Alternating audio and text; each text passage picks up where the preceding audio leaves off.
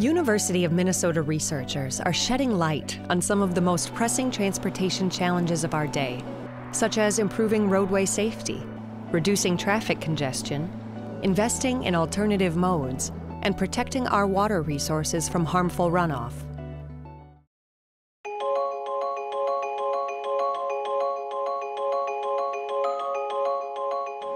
Imagine, for instance, navigating busy intersections with little or no eyesight. Crossing a street isn't risk free for any pedestrian, but it's especially challenging for the blind or visually impaired. U of M researchers are developing a groundbreaking and cost effective system that will help revolutionize the way people with visual impairment navigate busy streets. The Mobile Accessible Pedestrian Signal, or MAPS, gives directions and real-time information about traffic signals and safety to visually impaired pedestrians through an easy smartphone app.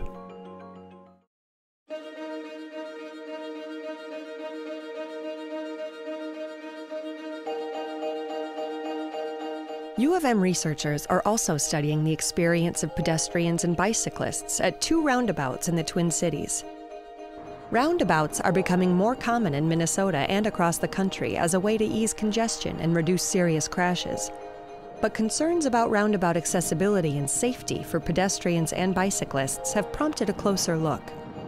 The research team collected video of thousands of pedestrian and bicycle crossings. They recorded only three close calls, but did note friction between pedestrians and drivers, at one roundabout, drivers yielded to pedestrians and bicyclists only 45% of the time. Study findings will help traffic engineers create safer roundabouts.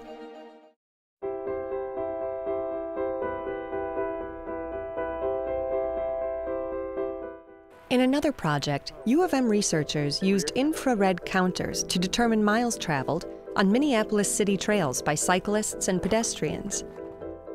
Along with data from local sources, the researchers found that bicycle and pedestrian traffic volumes follow distinct patterns. These could be used to develop models for estimating non motorized traffic on city streets, sidewalks, and trails. As a result, this bicycle and pedestrian traffic research is helping policymakers and planners make better planning, engineering, maintenance, and funding decisions about investments in non motorized transportation infrastructure.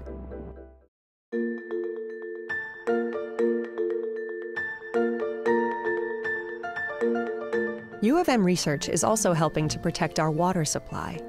Many dissolved pollutants in stormwater, such as phosphorus, are not filtered in most existing stormwater runoff treatment systems. But researchers at the St. Anthony Falls Laboratory have found a way to remove dissolved phosphate from stormwater. Their iron enhanced sand filtration system, called the Minnesota Filter, has been installed in a number of locations around the Twin Cities, Initial results showed an average 70% reduction in stormwater phosphate. That effectiveness, along with its low cost, has encouraged further adoption of the system.